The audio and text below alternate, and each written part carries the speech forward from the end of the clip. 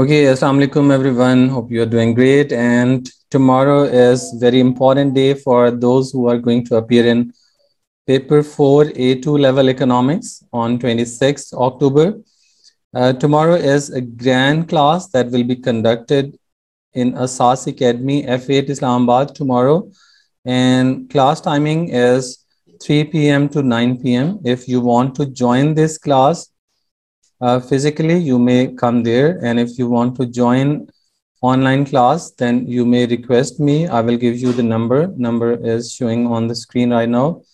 Uh, you can WhatsApp me. I will get you registered through the academy. And definitely you can join class online through Zoom as well. And it will be a, definitely a great booster class, inshallah.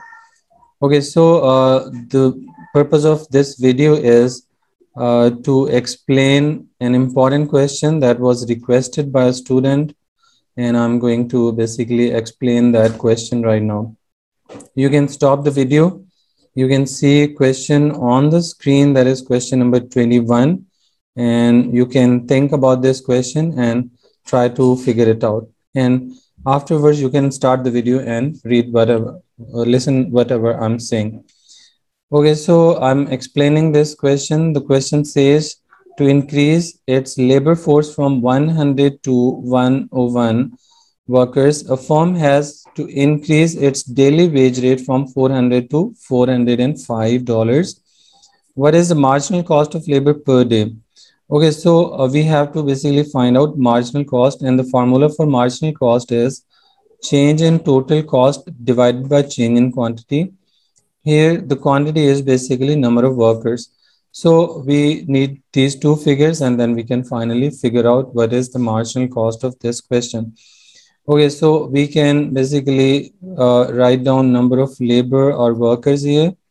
And then we can write down wages per worker and then total cost of labor.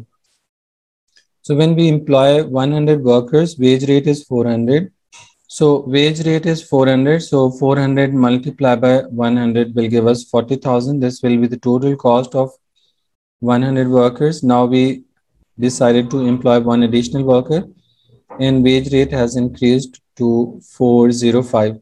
Now what we have to do is to find out total cost, we can multiply 101 with 1405. So 101 multiplied by 405 will give us 40,905.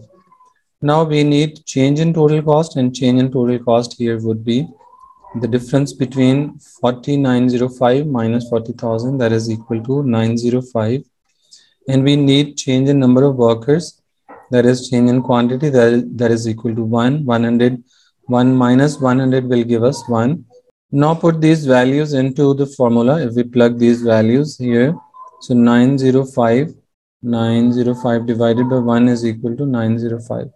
So 905 is the correct answer. That is option C. And in most of the cases, uh, like generally students read the question and they immediately see the difference in wage rate that is 405 minus 400 and they generally select option A but option A is not correct answer. You need to find out total cost first, then you can find out change in total cost and change in quantity.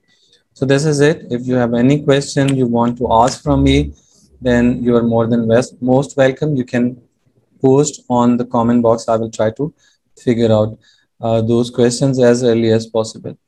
So don't forget to join the grand class that is six hours class tomorrow that will start from 3 p.m. and will it it will continue till 9 p.m.